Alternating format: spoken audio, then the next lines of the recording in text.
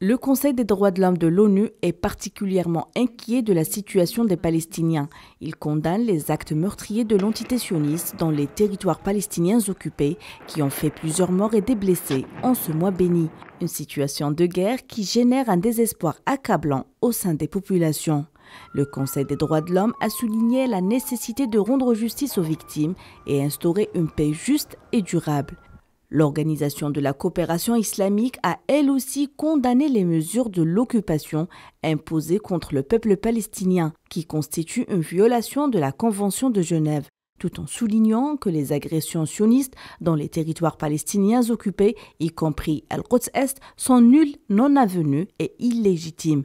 Selon l'OCI, aucun État ne peut reconnaître une situation créée par une violation flagrante du droit international.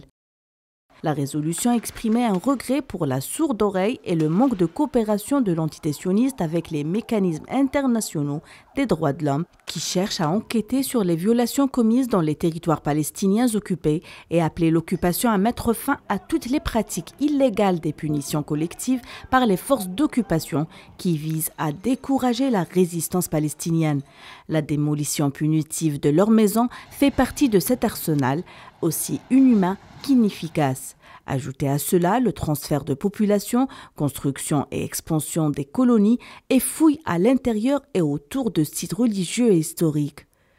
Dans ce texte, l'entité sioniste a été appelée à démanteler le mur de séparation dans les territoires palestiniens occupés et à verser des réparations aux populations qui ont souffert de sa construction et à mettre fin aux restrictions actuelles afin que les résidents palestiniens puissent exercer leur droit à la liberté de mouvement, au travail, à l'éducation et à la santé.